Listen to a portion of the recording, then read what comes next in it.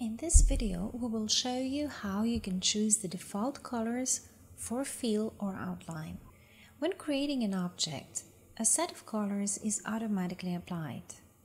For example, this rectangle has a white fill and a black outline.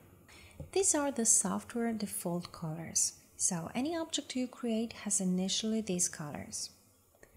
If you don't like these default colors, you can change them anytime you create a new object. But you can also create your own set of default colors.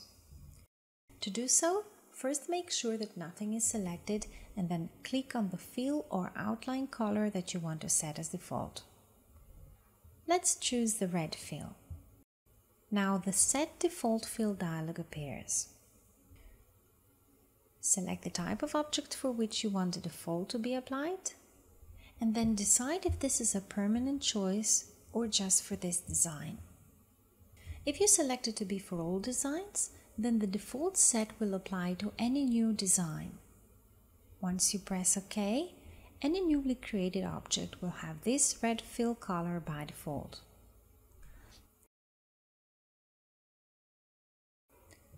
Likewise, you can select a default outline color. For outline though, there is the additional option to set a default width this is useful if you want to set the default outline to be satin serial. If you set the width to be more than 1 mm, then the software automatically changes the outline into satin serial. Let's choose this default to apply only to this design. Now any object that we create in this current design will have the red fill and the blue satin serial outline. In case that you want the new objects not to have any outline, make sure that nothing is selected and click on the X icon on the outline row. The Set Default Outline dialog will appear. Select the types of objects for which you want the default to be applied and decide if this is a permanent choice or just for this design. If you select it to be for all designs, then the default set will apply to any new design.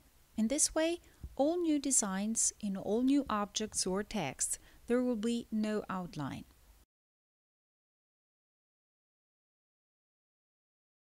Likewise, if you want to create line art designs without any fill, click on the X icon, this time on the fill line.